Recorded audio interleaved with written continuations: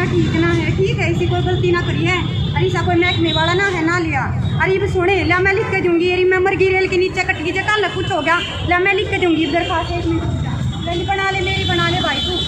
बना ले मेरी लिया मैं लिख दूँगी थी पहले एक मिनट ये कराना चाहती हूँ। स्टैम्प पेपर है मेरे द्वारा लिख के सारा सब कम करके तेरे खिलाफ लिख कर हाँ बहन जी। भाई मैं बताऊँ बात कर ले। नहीं फिर सवेरे से आप बैठे हो एक बार समझा दिया था इनके पीछे लगे हुए हो। सवेरे से मेरे पीछे लगे हुए हो। कर नहीं फ़ोन को मत छेड़ो। अरे इतनी तो शर्म कर ले और तेरे महकमे का है ये बनाओगा मेरी मैं भी मुलाजिम की हूँ दरबारी यूँ मत सोचे? मैं फिर ऐसे इनको दुखी करोगे ये ये करप्शन करता था हर रोज पैसे लेके जाता तब क्यों नहीं बोले आपने इसको? एक बार नीचे नहीं जाओ अपना घर जाओ। मैडम जी के तीन सौ रुपये के पीछे आपने बवाल करा कर दिया आप समझाओ तरुण ने। आप सच्चे हो आप जाओ डीएसपी ऑफ़िस में जाओ। उनको कहो कि रिक्वेस्ट करो कि मेरे से गलती हो गई है। चलो वहीं पे ये भी कह देंगे चलो सर जी कोई बात नहीं। जो हो गया सो हो गया छोड़ो। सारा दिन मुझे मेंटली भी और मतलब टॉर्चर करते रहे। पहले बात तो हमारे छोटे छोटे बच्चे हैं, हमारी नौकरी चली गई तो हमारा तो कुछ रहेगा ही नहीं। और फिर यूँ ना सोचियो, खुन्नस तो सारी ज़िंदगी रहेगी कि तरुण की वजह से मेरी नौकरी गई है। और गन भी मेरे पास ही है पूरे पानीपत में, और चार बंदे बुला के मरवा भी सकूँ। सीधी सादी धमकी। उन्होंने हर चीज़ में फिर अपनी बीवी को जान के मेरे सामने थोड़ा सा टॉर्चर किया। तो अब तो मैं इससे भी भगा दूँगा, ना मैं आटा लियान जोगा, ना मैं चावल लियान जोगा, बच्चों तो कहाँ थे पाल लूँगा? यू भी अपने घर जाएगी हमारा तो घर बर्बाद हो गया। मैंने कहा, सर, ऐसे क्यों कह रहे हो? इसमें उन बेचारी की क्या गलती है? नहीं, गलती नहीं है, फिर हमारा घर तो खराब हो गया। बीस बीस लाख में भी पुलिस की नौकरी नहीं मिलती और तो अथारी वजह से हमारी नौकरी चल जाएगी। मैंने कहा, सर, हमें नहीं चाहिए तो आपके तीन सौ, तीन हज़ार। अगर आप पुलिस वाले हो, हम भी अगर फड़े पे काम करते हैं, हम किसी से भीख मांग के नहीं खाते। फिर भी ये ढाई बजे तक मेरे को टॉर्चर करते रहे। ढाई बजे मैंने सर को फ़ोन किया, आशीष जी को। मैंने कहा, सर, ये बैठे हुए हैं, मैं मैं क्या कर सकती हूँ? ये भी नहीं है, पता नहीं ये फ़ोन रख के कहाँ चले गए अब वो भी मेंटली इतने डिस्टर्ब थे, मुझे तो ये भी डर था कि पता नहीं घर से कहाँ चले गए लेकिन ये साढ़े सात बजे तक मुझे ऐसे मेंटली भी टॉर्चर करते रहे करते रहे। साढ़े सात बजे फिर मैंने हक के इनको, सर को फ़ोन किया, आशीष जी को। मैंने कहा, सर जी, मैं क्या करूँ? और फिर अपनी बीवी को बार बार कह रहे, मैं तो थाने में जाऊँगा, मेरी थाने में ड्यूटी है बस स्टैंड के सामने तो जाकर तरुण के घर सो।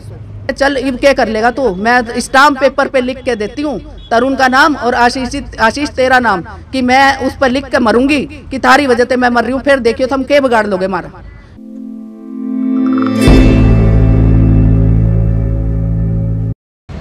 स्क्रीन पर आप सनोली रोड से तस्वीरें देख रहे हैं। तस्वीरें तान्या फ्लोरिस्ट के हैं, यानी कि ये फूलों का काम करते हैं और गुजर बसर जो होता है, इनका फूल बेच कर होता है। तस्वीरें इसलिए आपको दिखा रहा हूँ, ये कोई एडवर्टीज़मेंट नहीं। एक पुलिस वाले का डर इस परिवार को इतना है कि ये ढंग से सो नहीं पाते, किस समय उसका मोबाइल बच जाता है, ये नहीं पता और सीधा इनको धमकियाँ मिलती हैं।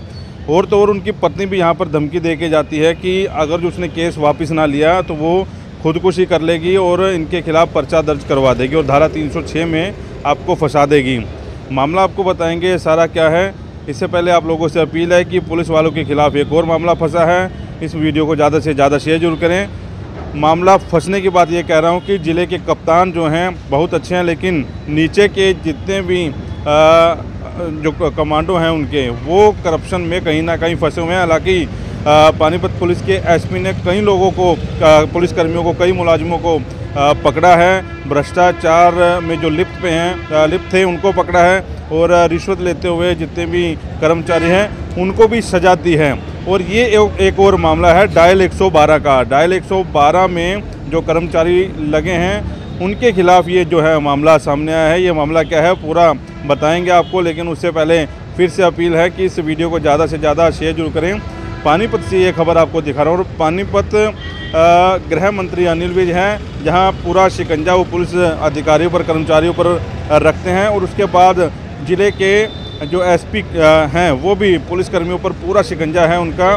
भ्रष्ट जो पुलिसकर्मी हैं, उनके खिलाफ वो एक मुहिम चलाए हुए हैं और इसी मुहिम में वॉइस ऑफ़ पानीपत भी उनके साथ हैं। इसी मामले को लेकर हम लोग यहाँ पर पहुँचे हैं। डायल 112 की बात करें, डायल 112 के कर्मचारी रिश्वत लेते हैं। रिश्वत लेने के बाद चलान के नाम पर रिश्वत लेते हैं और उसके बाद जब वो शख्स पुलिस के बड़े अधिकारियों के पास अपनी शिकायत देने जाता है तब उन्हें धमकियाँ दी जाती हैं और ये धमकियाँ दी जाती है कि उनके पास सरकारी रिवॉल्वर भी हैं और पूरे महकमे में उनका दबदबा भी है। आप ये केस वापस ले लो नहीं तो आपके खिलाफ जो है ऐसा कर देंगे। तो ये शख्स हैं सोनू मेरे साथ इनसे बातचीत करते हैं पहले। अ, अंदर ही चलते हैं अंदर फिर से बता दूँ कि इनकी जो पत्नी हैं वो भी मेरे साथ लाइव रहेंगी क्योंकि कल से उनको भी धमकियाँ जो हैं मिल रही है कि ये केस जो है वापस ले लो नहीं तो आपके खिलाफ जो है हम लोग कार्रवाई करेंगे और सुसाइड कर लेंगे और आपका जो है नाम उसमें लिखा, लिख लेंगे। तो बातचीत करने की कोशिश करते हैं। तो सोनू मेरे साथ हैं। पहले तो ये बताएँ कि सारा ये वाक़ क्या हुआ था आपके साथ? नमस्कार जी। मेरा नाम तरुण कुमार सोनू है और मेरा फ्लावर डेकोरेशन का काम है। आज से एक महीना पहले, तकरीबन 21 फरवरी को मैं संजय चौक से जा रहा था तो वहाँ पर एक हवलदार चीज़ खड़े थे। उन्होंने मेरे से डॉक्यूमेंट्स मांगे। तो मैंने उनसे बोला कि मेरे पास डॉक्यूमेंट्स जेब में नहीं है और मेरे मोबाइल में सारे डॉक्यूमेंट्स हैं। वो बोले डॉक्यूमेंट्स मोबाइल में नहीं चलते। मैं कहा, जी, सरकार का अनुमान है कि वो डॉक्यूमेंट्स मोबाइल में चलते हैं। वो कहने लगा, ऐसा नहीं है। लेकिन मैंने जब उनकी बात हेड कांस्टेबल आशीष कुमार जी से बात करवाई तो उन्होंने फ़ोन पे उनको बोला, जी, इनका तो चलान काट दिया गया है। और बार बार कहने के बाद भी उन्होंने फ़ोन काट के नीचे रख दिया और मुझसे बोले, जी, बातों से कुछ नहीं होगा, कागज़ दिखाने पड़ेंगे। मैं कहा, सर, अगर कागज़ होते तो मैं बात क्यों करवाता आपकी? बोले, चलो अच्छा ऐसे करते हैं, एक छोटा चलान काट देते हैं। मैं कहा, ठीक है जी, काट दीजिए। कह रहे, पाँच सौ रुपये का चलान काटेंगे। पहले हज़ार रुपये मांगे, फिर पाँच सौ रुपये का चलान बताया। तो मैंने बोला, जी, मेरे पे पाँच सौ रुपये नहीं है, इस टाइम तीन सौ रुपये पड़े हैं। बोले, चलो, ठीक है जी, तीन सौ रुपये दे दीजिए। तीन सौ देने के बाद उन्होंने जेब में रख लिया मैंने कहा, जी, चलान कह रहे जाओ जी, हो गया जी, जाइए। अब तो उस टाइम मैं भी जल्दी में था और मैं अपना चला गया, उन्होंने मुझे कोई पर्ची नहीं दी। कुछ समय के बाद जब आशीष जी से बात हुई, आशीष जी ने बोला, सोनू जी, कितने का चलान काटा था? मैं कहा, सर, तीन सौ रुपये का। वो बोले, हमारे ट्रैफ़िक में कोई तीन सौ रुपये का चलान नहीं है। और रसीद वगैरह मैंने कहा, कुछ नहीं दी। तो उन्होंने कहा, भाई, ऐसा कैसे उसने तीन सौ रुपये क्राफ्ट के मामले में जेब में रख ली अपनी? मैं कहा, ये आप देखिए या वो देखिए। तो उन्होंने एसपी ऑफ़िस में इस चीज़ की कंप्लेंट डाली। तो एसपी ऑफ़िस से जब बात आई तो उन्होंने मेरे को बोला, आप अपनी रिपोर्ट एसपी ऑफ़िस में दर्ज कराइए। मैंने उनकी कंप्लेंट जाके एसपी ऑफ़िस में दर्ज करा दी और वहाँ से जब उन्होंने मुझे बुलाया गया, सारी कंप्लेंट एफआईआर नोट हो गई तो वो मामला डीएसपी ट्रैफ़िक को दे दिया गया। तो डीएसपी ट्रैफ़िक ने जब मुझसे बुलाया, पूरे बयानात किए, सारी चीज़ पूछी गई रिपोर्ट के बारे में पूछा गया तो उन्होंने मेरे से, उन्होंने इतना भी पूछा संदीप कुमार जी ने, कि सोनू जी, अगर ये बात गलत है या पैसे नहीं लिए या कुछ ऐसा है तो हकीकत बताना। मैं कहा, सर मुलाजिम आपका है, मनाना, करना, पूछना आपका काम है, मैंने सिर्फ़ तीन सौ रुपये ही दिए और तीन सौ ही कहे हैं। मैं तीन हज़ार भी कह सकता था, कुछ भी कह सकता था। लेकिन जो जायज़ लिया उन्होंने जायज़ लिया लेकिन मुझे डर सिर्फ़ इतना है कि उन्होंने मेरे को जब चलान के बारे में बताया कि कभी कल को मेरा तीन सौ पाँच हज़ार दस हज़ार का कोई चलान ना आ जाए। मुझे जिस चीज़ का डर था। तो उसके बाद उन्होंने रविंदर जी को बुलाया उनसे भी पूछताछ की और बाहर आकर रविंदर जी ने मेरे से पूछा कि सोनू जी अ, क्या तीन सौ रुपये लेने वाला मैं था? मैं कहा जी वो तो आप बताइए आप थे कि नहीं थे? वो कह लगे मान ले जी मैं हूँ। मैंने कहा मान लो नहीं जी हकीकत बताइए अगर आप है तो आप बताइए नहीं है तो मना कर दीजिए। कहने का अच्छा चलो मान लिया मैं ही हूँ। अब क्या करना है जी? मैं कहा सर, आप बताइए क्या करना है? कहते हैं जी, जो भी मामला इसको यहीं ख़त्म कर दो। मैं कहा जी, मैं कुछ नहीं कर सकता। जो करेंगे, डीएसपी साहब करेंगे। तो बोले, जी, डीएसपी साहब को तो चलो, बाद में बात कर लेंगे। आपको अगर तीन सौ रुपये की बात है, तीन सौ ले लीजिए, पाँच सौ ले लीजिए, हज़ार ले लीजिए। मैं कहा, सर, मैं बिज़नेस करता हूँ, दुकानदारी, काम धंधा करता हूँ। मेरे लिए तीन सौ, पाँच सौ रुपये की क्या वो है? मेरे को तो सिर्फ़ डर था कि चलान की कोई बात नहीं कह रहा, चलान का तो मैं आपको एफिडेविट पे लिख के दे दूँगा, सारी ज़िंदगी में कोई चलान आपका आएगा तो मैं भुगतूँगा। मैं कहा, सर, काटते टाइम तो आपने ये चीज़ नहीं बताई। आज आप इस चीज़ को बता रहे हैं। तो चलो, वो बात वहाँ पे हो गई। उसके बाद डीएसपी साहब ने दोबारा बुलाया बयान किए, सारा कुछ हुआ। तो परसों मेरे को जब उन्होंने बयान लिया तो इनको बुलाया होगा कि आप एक बार ड्यूटी हाजिर होइए या वहाँ पे आके अपना बयान दीजिए। तो लेकिन वो वहाँ जाने के बजाय कल सुबह तकरीबन साढ़े आठ बजे आठ बजे मेरी दुकान पर आ गए सिविल में अपनी मिसिस के साथ। और मुझे आके बोले, सोनू जी, क्या आपने तीन सौ रुपये के लिए इतना बड़ा पहाड़ तुड़वा दिया? और ऐसा नहीं होना चाहिए था। आप अपना बयान वापसी ले लीजिए, अपनी कंप्लेंट वापसी ले लीजिए। मैं कहा, सर, मैं नहीं ले सकता बयान, क्योंकि मेरा बयान या कंप्लेंट वापस लेने से वहाँ से ही पूछा जाएगा कि किस टॉर्चर में, किस पैसे के दबाव में या किस प्रेशर में आपने बयान वापस लिया। तो मैंने कहा, जी, आप एक काम कीजिए, कोई बात नहीं, गलती सबसे होती है, आप अपने जाइए डीएसपी साहब के सामने अपनी गलती कबूल कर लीजिए। अगर ऐसा कोई आपकी गलती होगी तो डीएसपी साहब आपको माफ़ कर देंगे। जब आप कह रहे इतने अच्छे इंसान हैं तो आपको माफ़ कर देंगे, और फिर मुझको बुलाया जाएगा, मैं भी आपके साथ हूँ, बोल दूँगा, जी, ठीक है, कि बंदा गलती अपनी मांग रहा है तो उसको माफ़ कर दीजिए। और नहीं होगा तो वो जाने या आप जाने। कहता नहीं जी, मैं नहीं जाऊँगा। मेरे को तो जाते ही वो नौकरी के लिए सस्पेंड कर देंगे और मेरे हाथ में तो उसका नोटिस दे देंगे। आप पहले जाके कहिए। मैं कहा, ठीक है जी, आप पूछो। और आशीष जी से भी इन्होंने फ़ोन किया। आशीष जी ने कहा, आप वहीं आओ, वहीं मिलते हैं। तो ये आशीष जी को मिले वहाँ। पता नहीं, ये पेश हुए, नहीं हुए। लेकिन इसने मुझे पूरे दिन से फ़ोन पे फ़ोन फ़ोन पे फ़ोन करने शुरू कर दिए। और मैं बाई चांस अपना फ़ोन घर पर छोड़कर दो मिनट के लिए कहीं चला गया था। तो इनकी मिसिज़ ने मेरी मिसिज़ को फ़ोन किया। उन्होंने फ़ोन उठाया। बोले जी अगर आप नहीं आ सकते हो तो कहो तो हम आपके घर ढूंढते हुए आ जाते हैं। चलिए बाकी बात इनकी मिसेज करते हैं। मामला सोनू ने बता ही दिया कि सनोली रोड पे आ, खड़े थे ये लोग। और तीन सौ रुपये चलान के नाम पे ले लिए, संजय चौक पे तो तीन सौ रुपये ले लिए। और तीन सौ रुपये लेने के बाद इन्होंने कंप्लेंट दी कंप्लेंट के बाद इन्हें धमकी आती रही। अब सारी जो बात है, बात करते हैं इनकी मिसिज से, क्योंकि इनकी मिसिज को थ्रेट किया गया, जिस केयर पे चेयर पे बैठा हूँ मैं। इस चेयर पर ये बैठे थे और कल से जो उसके रविंद्र कुमार जो हवलदार बता रहे हैं कॉन्स्टेबल बता रहे हैं, और डायल 112 में उसकी ड्यूटी थी, और उसकी धर्मपत्नी भी यहाँ बैठी थी। किस तरह से उनकी बातचीत हुई और कैसे इन्होंने टॉर्चर किया, वो सीधी बातचीत सुनवाते हैं। क्या हुआ था जी जब वो आए थे? मेरे पास तो 11 बजे फ़ोन आया था, उनकी वाइफ का, कि तरुण जी कहाँ हैं? मैंने कहा, पता नहीं मेरे को तो वो तो फ़ोन लगा कर गए हैं, कह रहे थे डीएसपी ऑफ़िस जाना है, पता नहीं कहाँ गए हैं। फिर मैंने वो फ़ोन काट दिया, फिर दोबारा इनका फ़ोन आया दस पंद्रह मिनट के बाद कि कहाँ गए हैं? मैंने कहा, मैडम, मुझे पता ही नहीं है कहाँ गए हैं तो मैं आपको कैसे बताऊँ? तो फिर आप मुझे घर बताओ, एड्रेस बताओ, हम आपके घर आएँगे। मैंने कहा, घर आने की ज़रूरत नहीं है, घर में बच्चे भी हैं पड़ोस वड़ोस है, मुझे तो आपके वैसे मामले का भी नहीं पता तो मैं आ रही हूँ दुकान पे। उन्होंने कहा, ठीक है, आप आ जाओ, मैं आई, शॉप पर आके यहाँ बैठी, ये तो घर थे ही नहीं। और फ़ोन भी मैं इनका साथ ही लेकर आई थी।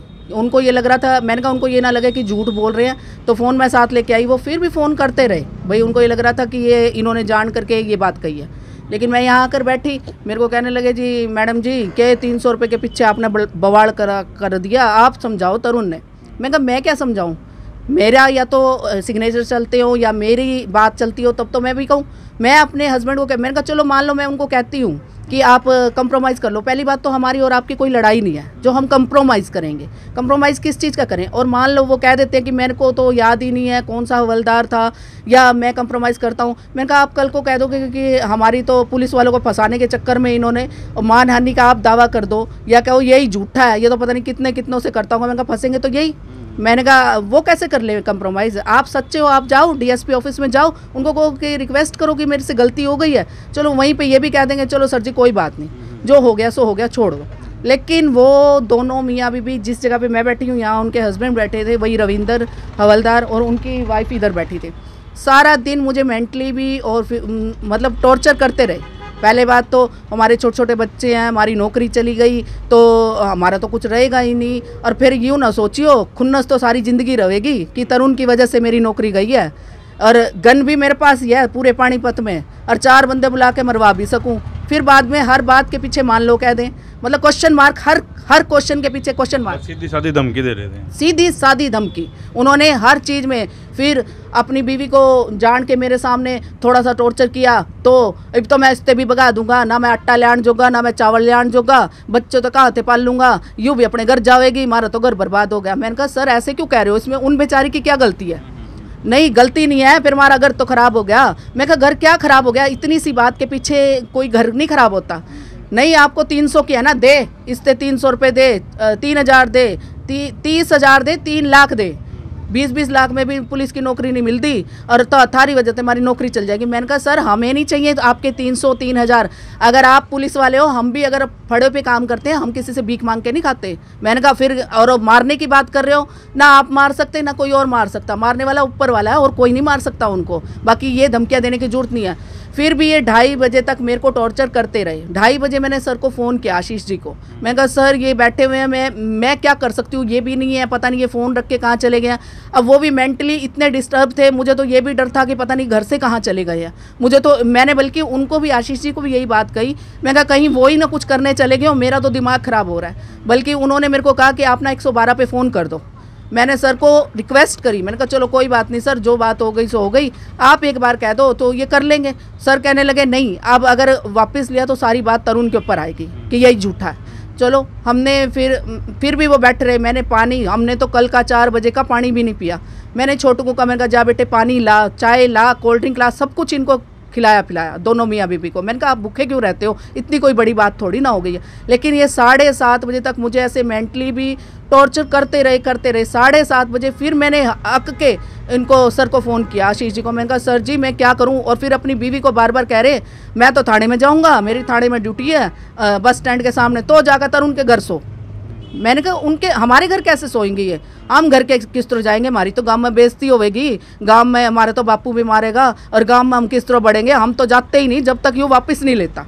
मैं, मैंने ये जब बात सुनी कि उसको बार बार कह रहे हैं कि इनके घर जाके सो, फिर मैंने सर को फ़ोन किया, आशीष जी को। मैंने कहा, सर जी, मैं क्या करूँ? मैं तो बहुत परेशान हो गई सुबह से शाम तक। अब मैं क्या करूँ? मुझे समझ नहीं आ रही। तो वो सर कहने लगे, अभी तक गए नहीं वो? मैंने कहा, नहीं, अभी तक नहीं गए हैं। तो सर ने कहा, चलो, कोई बात नहीं, मैं आ रहा हूँ। इतने में मैंने साढ़े सात बजे फ़ोन किया, ये अपने कहीं राइड पे होंगे तो वो पौने आठ बजे, सात पैंतालीस पे यहीं आ गए। सर, उन्होंने आते ही पूछा, क्या बात, तुम गए नहीं? हम तो यहाँ फूल लेने आए थे। उनको कहते वो कह रहे कि सुबह से लेकर अब तक तुम फूल ले रहे हो। फिर उसकी बीवी मुझे कहने लगी, आपने वीडियो बनाने के लिए इनको बुलाया था? मैंने कहा, मैडम, मैंने उनसे कोई बात की है? मैंने यही कहा है कि सुबह से ये यहाँ बैठे हैं, मैं क्या करूँ? मैं तो बहुत परेशान हो गई हूँ सुबह से। तो फिर उनको कहते हैं सर को भी, सर ने वीडियो भी बनाई, उनको कहती है, चल इब क्या कर लेगा तू? मैं स्टाम्प पेपर पे लिख के देती हूँ, तरुण का नाम और आशीष आशीष तेरा नाम, कि मैं उस पर लिख के मरूँगी, कि तारी वजह से मैं मर रही हूँ, फिर देखियो तुम के बिगाड़ लोगे, मारा। ये कहते हुए वो अपना चलती गई। और फिर जैसे आशीष जी वीडियो बनाने लगे, ये भागते गए। फिर उन्होंने दो, एक बार, दो बार, फिर वापस आया, दो, तीन बार आया। फिर इन्होंने 112 पे फ़ोन किया सर ने। 112 वाली राइड आई। उन्होंने भी इनको फ़ोन करके बुलाया। वो कहते हैं कि अब तो तुम जो मर्ज़ी कर लो, मैं वापस नहीं आते इब तो मैं देख लूँगा, जो भी होगा। ये कह यहाँ यहाँ बैठे हुए थे कुछ आपको फिजिकली टच भी कर रहा था वो सर मैं अगर उधर भी मेरा वो होती थी मेरी कुर्सी घुमा कर इधर हाथ पे हाथ लगाना मैडम जी मैडम जी कर करके कर करके कर उसने मेरे को इतना टॉर्चर किया शाम तक मैं बहुत ज़्यादा टॉर्चर हो गई। कोई किसी को ऐसे वो नहीं कर सकता। अब उनकी वाइफ बैठी थी हमने फिर भी उनको बहन जी करके सब कुछ करके लेकिन वो अपना रुआब मतलब पुलिस का रुआब ऐसा दिखा रहा था कि भाई मैं तो कुछ भी कर सकता हूँ। लेकिन पुलिस है कोई खुदा तो नहीं बन सकती ना वो खुद पुलिस। मार कोई भी नहीं सकता सर किसी को भी। फिर हमने परेशान होकर जब उनकी बीवी ने ये बात कही ना कि मैं मर जाऊँ मैं मर जाऊँगी इनका नाम लेकर तो तब सर ने मेरे को कहा कि अपनी प्रोटेक्शन के लिए आप कंप्लेंट करो। फिर हम चाँद वहाँ ग्यारह बारह सेक्टर वाले पे गए और मेरे नाम से वहाँ कंप्लेंट हुई है। मैंने ही सारी की है कि कल को कोई भी मैटर होता है, ये खुद को कुछ कर लेंगे या हमें कुछ हो जाए तो हमें तो सिक्योरिटी चाहिए, हमें तो खतरा है इनसे। पुलिस वाले तो किसी के साथ भी मिलकर कुछ भी कर सकते हैं। और अगले ने मेरे को कहा, चार बंदे बुलवा के मैं इसको मरवा भी सकता हूँ, तब भी क्या कर लोगे? गन मेरे पास है। अब बताओ, हम हम हम किसके पास गुहार लगाएँगे इस चीज़ की कि हमें हमें कहाँ से सिक्योरिटी मिलेगी? पुलिस वालों से तो दुनिया डरती है। मैंने बात बात में दस बार उनको कहा, मैंने कहा, पुलिस वालों की यारी भी बेकार और दुश्मनी भी बेकार। ये भी मैंने उनको कहा। मैंने कहा, मैं तो बल्कि कोई भी आम लेडी होगी, आम जनता होगी, वो डरेगी। वो कहेगी कि आप कंप्रोमाइज़ कर लो। हमें नहीं इनसे कुछ भी चाहिए। ना हमें तीन सौ चाहिए, ना तीन हज़ार चाहिए। हमें कुछ नहीं चाहिए। बस आप कंप्रोमाइज़ कर लो। कल को हमारे बच्चे कहाँ जाएँगे अगर इनको कुछ हो गया? तो यही बात मेरे आप चाहते हो कि ऐसे भ्रष्ट पुलिस कर्मियों के खिलाफ डिपार्टमेंट कार्रवाई करें? बिल्कुल करे जी। आज हमारे साथ है कल को किसी के साथ भी और ये हो रहा है आज से नहीं पता नहीं कब से हो रहा है। मैंने उनको ये बात भी कही मैंने कहा आज कोई पहली बार थोड़ी ना उन्होंने दिए हैं। ये तो पहली बार ये मामला आया है। मैंने कहा अब काम में सबके पास डॉक्यूमेंट्स नहीं होते। आम जनता कोई डॉक्यूमेंट्स लेकर नहीं चलती है हेलमेट भी नहीं होता क्योंकि सबको इतनी जल्दी होती है। फिर अगर आपने चलान काटना है तो पूरा काटते ना। मैंने इतनी भी बात बोली, उनको पूरा काटते चलान। आपने क्यों तीन सौ रुपये लिए? फिर तीन सौ रुपये लेकर आपने रिकॉर्डिंग में फ़ोन पे कह रहे हो कि चलान कट गया। मतलब आम जनता तो दोनों तरफ़ से फंसी। तीन सौ रुपये भी दे दिए, चलान भी आ जाएगा तीन चार दिन बाद। वो तो डरेंगे ही कि भाई अब चलान भी आ गया और आप काटो तो पूरा चलान काटो ना। क्यों करते हो ऐसे काम? मैंने कहा, मैंने उनको बात बात में कितनी बार हलाल की कमाई हमेशा पचती है भाई साहब। हराम की कमाई कभी नहीं पचती तो फिर वो कहते हैं, जी, मेरे से तो गलती तो होगी, मेरे से अब क्या करें, इसका तो होगा तो कंप्रोमाइज़ आज कर लो, चाहे कल कर लो। मैं कल कर लो, अब मेरे को क्यों टॉर्चर कर रहे हो? जो जिसने उन्हें करना है, वही करेंगे ना। मुझे तो पता ही नहीं है जिस बात का। आप तो मुझे सुबह से लेकर टॉर्चर करने पर लगे पड़े हो। शाम हो गई, रात ही हो गई और रात को फिर मैंने बहुत परेशान होकर जाके इनके खिलाफ कंप्लेंट करवाई है, वहाँ ग्यारह बारह सेक्टर में। ये तो ये तो आशीष जी का बहुत बहुत धन्यवाद, जो उन्होंने हमारा टाइम पे साथ देते रहे। जब भी मेरे को ज़रूरत पड़ी उन्हें रात को भी मौके पे पहुँचे। बजे अगर अगर वो ना आते तो हो सकता है कि वो पता नहीं कितना तक हमारे पे दिमागी टर्चर डालते रहते या कुछ भी परेशान करते को रहते लेकिन आशीष जी रात को साढ़े दस ग्यारह बजे तक चांदनी बाग थाने में तक हमारे साथ कंप्लेंट कराने के लिए गए। ग्यारह बजे तक हमारे साथ रहे और सुबह भी उन्होंने आके पूछा हाँ एक बात और। सुबह जल्दी तकरीबन नौ दस बजे के आसपास उसकी मिसिज का फिर मेरी मिसिज के फ़ोन पे दोबारा फ़ोन आया। फ़ोन आया, तीन। बार फ़ोन आए हैं कि दोबारा लेकिन इन्होंने नहीं उठाया। तो पता नहीं वो हमसे क्या। फ़ोन पे पूछना चाहते हैं क्या करना चाहते हैं लेकिन हमने ना उनसे कोई बात की है ना उनका फ़ोन उठाया दोबारा से। ये उस ज़िले की बात है जहाँ के कप्तान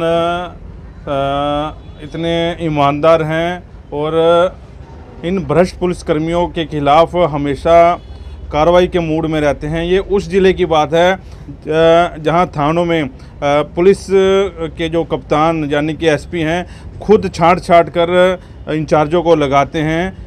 ये उस ज़िले की बात है, जहाँ पर मुख्यमंत्री ईमानदार जो हरियाणा के और गृह मंत्री अनिल विज हैं, ये उस ज़िले की बात है, जहाँ पर पुलिसकर्मी ईमानदारी का ढोल पीटती हैं।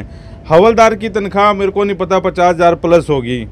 उसके बाद भी पैसे की इतनी भूख कि तीन सौ रुपये लेने के बाद, और जब ये, जब पुलिस कप्तान कार्रवाई कर रहे हैं इन पुलिसकर्मियों के ऊपर, और करनाल में आपने मामला देखा, इन भ्रष्ट अधिकारियों के खिलाफ कितनी कार्रवाई हो रही है, पानीपत में कितने पुलिसकर्मियों के खिलाफ कार्रवाई हो रही है, और उसके बावजूद भी इनको डंडे का कोई डर नहीं है जब नौकरी पे बात आई तो तब इनके पास आकर धमकियाँ देने लगे।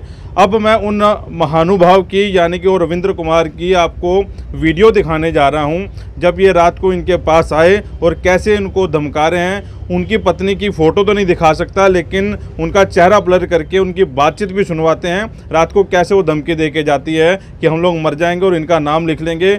और ऐसी ऐसी बातें जो उन्होंने कही हैं इस महानुभाव की वीडियो भी देखी है और उसके बाद हम आशीष कुमार के पास लिए चलेंगे क्योंकि आशीष कुमार इस रोड के ऊपर रहते हैं और इनके पास फ़ोन नंबर था तो इन, इन्होंने इनसे जब बातचीत की। बड़ी बात की तीन सौ लेने के बावजूद भी चालान का डर इनके ऊपर था तब इन्होंने बात आशीष के सामने रखी और मौके पर भी आशीष से बात करवाई ताकि बातचीत जो है क्लियर हो सके।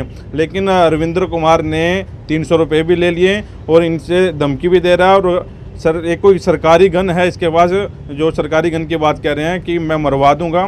तो ये अ, कप्तान साहब अगर आप इस वीडियो को देख रहे हैं तो हम भी चाहेंगे कि ऐसे भ्रष्ट पुलिस अधिकारी या कर्मचारी के खिलाफ सख्त से सख्त कार्रवाई हो। ये वीडियो देखिए उसके बाद आशीष कुमार के पास आपको लिए चलते हैं। बोलो इनके सामने आप क्लियर कोई टेंशन नहीं भाई साहब। आप इनको बोलो जो चीज़ बोलनी है। इनको क्यों परेशान कर रहे हो सुबह से? हैं?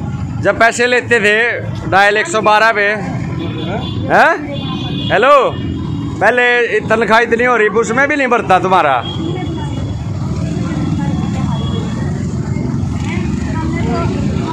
आप सवेरे से मेरे को भी परेशान कर रहे हो, फ़ोन कर करके अपनी मिसिज को लेके आए हुए हो। हैं? गलत नहीं, आप बोलो ना, जो बात है बोलो भाई साहब, रविंदर जी। आप बोलो इनको जो चीज़ बात क्लियर दिक्कत वाली बात नहीं जो अब इंक्वायरी चल पड़ी तो तुम इनके पीछे पीछे घूम रहे हो और मेरे को भी परेशान कर रहे हो इनको भी। किसने कहा अभी गवाह को ऐसे सारा दिन पे टॉर्चर करोगे? उस दिन से फ़ोन पे बुरा हाल मचा रखा है। भाई हौलदार रविंदर हेड कॉन्स्टेबल बोलो। हैं?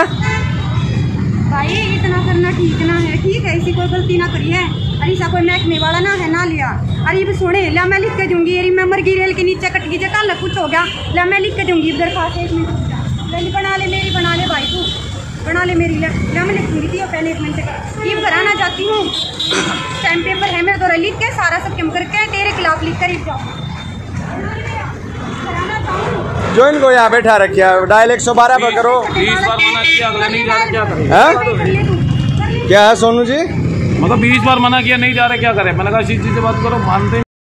भाई ये फ़ोन में वीडियो बनाए तो कुछ खराब हो। जाएगा हाँ बहन जी। भाई मैं बताऊँ बात कर ले फ़ोन में वीडियो बना नहीं फिर सवेरे से आप बैठे हो एक बार समझा दिया था इनके पीछे लगे हुए हो। सवेरे से मेरे पीछे लगे हुए हो।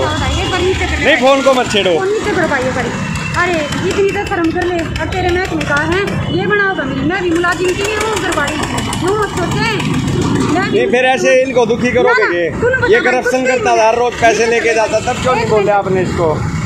एक बार नीचे भाई। नहीं जाओ अपना घर जाओ। जाओ। फिर मैं जाऊँगी मैं। मेरा वो मत करिए ना वो तरुण हो रहा होगा ना तू होगा।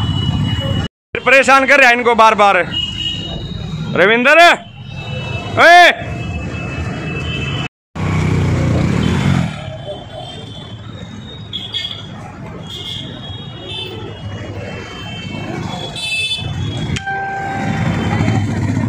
वीडियो आपने देख ली दंपत्ति की आपने बात सुनी, धमकियाँ दी जाती हैं और कांस्टेबल रैंक का कर्मचारी पुलिस के भेष में कैसा उसने खेल खेला, तीन सौ रुपये रिश्वत ली, पुलिस कप्तान ईमानदार हैं और नीचे वाली उनकी सेना है, वो समय समय पर आप वॉइस पानीपत पर देखते भी रहते हैं। आशीष कुमार मेरे साथ हैं, उनसे बातचीत करने की कोशिश करते हैं। आशीष जी, ये मामला क्या था? आपके पास कैसे जानकारी पहुँची? सर नमस्कार। कुछ दिन पहले जैसे मैंने चलाया था अभियान भाई, जाम मुक्त और करप्शन मुक्त ट्रैफ़िक। पानीपत का अभियान चलाया था। उसकी वजह से लोग मुझे जानने लगे और मेरे पे भरोसा करने लगे। तो ये इसको एक अपना ये, यहाँ फूलवाड़ा है।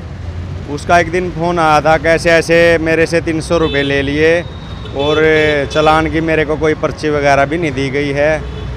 और मैंने कहा, भाई, बात करवाओ उनसे। तो उन्होंने बात करवाई तो उन्होंने कहा, अभी चलान कर दिया है। फिर मैंने सोचा, भाई, तीन सौ रुपये का तो कोई चलान नहीं है। तो उसके बारे में फिर मैंने पता किया अपने तौर पर। पता चला कि ये डायल 112 पर एक हवलदार है, रविंदर। इसकी आवाज़ है ये। इसी ने पैसे लिए हमें और उसके बाद इसका मैंने तरुण है जो ये फूल वाला है, इनको बता दिया। भी ये तो आपके साथ गलत किया गया है, आपका कोई चलान नहीं हुआ आपसे ये रिश्वत ली गई तीन सौ रुपये। तो इन्होंने एसपी साहब को इसकी शिकायत की है। एसपी साहब ने डीएसपी साहब के पास जाँच बैठा दी और मामले की जाँच के दौरान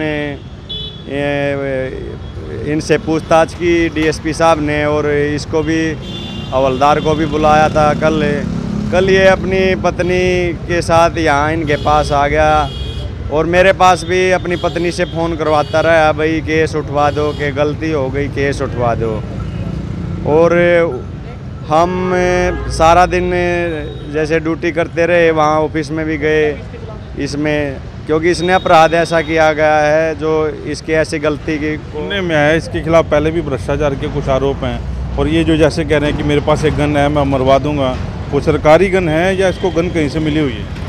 नहीं आज मैंने सुबह पुलिस लाइन में जो पुलिस वाले मेरे को ये बता रहे थे भाई इसके खिलाफ पहले भी केस दर्ज हुआ था करप्शन का ही भ्रष्टाचार का भी। और यह सरकारी असला रखता है और इसने कई बार किसी को अडाया भी है। अच्छा अडाया भी है? हाँ कोक करके अडाया भी है। और इनको भी कल शाम को इनका फ़ोन आया था, साढ़े सात बजे। अगर भाई, ऐसे ऐसे करके ये हमें धमकिया दे रहे फिर डायल 112 पर हमने कॉल किया, उनका वीडियो भी बनाया। उसके बाद वे यहाँ से भागे और थाना में शिकायत भी की है। थाना में इनकी शिकायत भी की है। और अब ये भी डरे हुए हैं। लेकिन जब तक इनका कोई आश्वासन नहीं मिल जाता, हमें तब तक यहीं लगातार गश्त करेंगे और इनकी सुरक्षा भी करेंगे। इनकी सुरक्षा भी करेंगे। आशीष कुमार हमारे साथ थे। पुलिसकर्मी जब अपनी पे आता है तो क्या क्या करता है? ऐसा ही जो इनको रोप दिखाने की बात की गई। जब ये नहीं माने तो गन की बात की कि मेरे पास गन है, मरवा दूँगा। लेकिन उनकी धर्मपत्नी है आज्ञा ये है। वो खुद कह रही है कि ऐसे भ्रष्ट पुलिसकर्मियों के खिलाफ कार्रवाई होनी चाहिए और फिर से अपील ये है पानीपत के एसपी को कि आप ऐसे भ्रष्ट कर्मचारियों और अधिकारियों के खिलाफ खुलकर कार्रवाई करें ताकि एक मिसाल जो है, पुलिस की पैदा हो सके। वाइस ऑफ़ पानीपत के लिए प्रदीप पंचाल के साथ कुलवंत सिंह।